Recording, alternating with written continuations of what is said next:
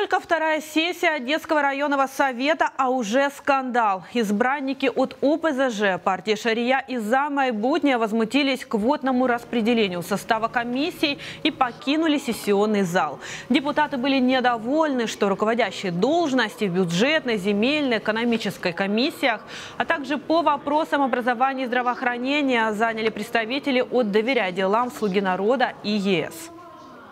Всі отримали регламент, всі проекти рішення, перелік комісій одночасно. Але по певним депутатам керівництво вспіло, встигло підготувати проект рішення, а по нашим двом фракціям не встигло. І що ми бачимо? Комісії деякі взагалі не укомплектовані. Тобто наявні комісії у вигляді однієї людини. Це комісія по міжнародному співробітництву, комісія з питань регламенту, де одна єдина людина це член комісії, мабуть, і голова, і заступник в одній особі. Тобто вони не життєздатні для функціонування.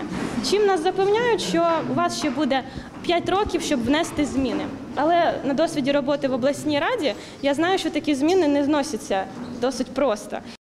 Вышеупомянутые фракции за назначение председателей этих комиссий ни одного голоса не дали. Например, партия Шария отказалась голосовать.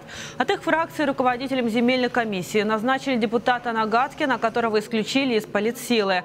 Однако «за» нажало большинство депутатов районного совета. Это и возмутило другую половину собрания, которая покинула зал. Что я могу сказать, понимаете? Э, То, что в нашей стране уже давно отсутствует напрочь фактор справедливости, мы сегодня видели это в зале. Значит, сегодня просто плюнули в лицо избирателям э, оппозиционной э, платформы «За жизнь», избирателям «За майбутнее», избирателям партии «Ширия». То есть сегодня не то, что нас не допустили, сегодня нас просто в наглую проигнорировали. Несмотря на демарш, заседание продолжалось, потому что кворум сохранился. Оставшиеся депутаты начали рассматривать другие вопросы, в том числе бюджетные, уже без своих коллег. Кстати, бюджет Одесского района депутаты утвердили на уровне 58 тысяч гривен. Основная часть пойдет на содержание аппарата. 574 гривны в резервный фонд.